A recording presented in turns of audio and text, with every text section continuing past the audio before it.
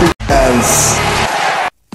संग्राम में आप सभी का स्वागत है प्रो कबड्डी सीज़न पाँच के बीसवें दिन का पहला मुकाबला हरियाणा स्टीलर्स और तमिल थलाईवास के बीच खेला गया, जो 25-25 अंकों के साथ बराबरी पर खत्म हुआ। तो आइए जानते हैं अहमदाबाद के द एरिना स्टेडियम में खेले गए इस मुकाबले का पूरा हाल। पहले हाफ़ में हरियाणा स्टीलर्स ने अच्छा खेल दिखाया, चौथे मिनट में वज़ीर सिंह ने रेड कर चार दो का स्कोर किया। अगले ही मिनट में अजय ठाकुर ने रेड कर चार चार अंकों ऐसी स्कोर बराबर किया। सोलवे मिनट में के प्रपंजन को टैकल कर हरियाणा स्टीलर्स ने 10-8 से बढ़त बनाई। 19वें मिनट में डोंग जॉन ली के रेड के बाद दोनों टीमों का स्कोर एक बार फिर 10-10 अंकों से बराबरी पर पहुँचा। लेकिन पहले हाफ़ के खत्म होने तक हरियाणा स्टीलर्स 13-10 से आगे रही। दूसरे हाफ़ में भी दोनों टीमों के बीच ज़बरदस्त भिड़ंत देखने को मिली। 25वें मिनट में हरियाणा स्टीलर्स को ऑल आउट कर तमिल थलाईवाज ने 17-14 से बढ़त बनाई। इसके बाद दोनों टीमों के बीच एक दूसरे पर बढ़त बनाने की कोशिशें चलती रही। रही। लेकिन पूरे मुकाबले में कभी हरियाणा स्टीलर्स तो कभी तमिल थलाईवास की टीम आगे रही।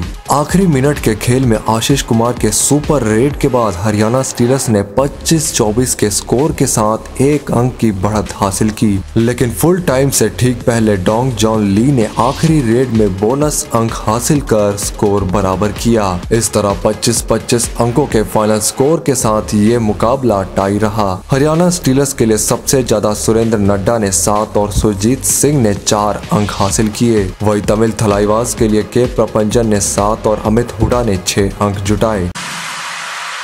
आगे देखिए Gujarat Fortune Giants versus Telugu Titans.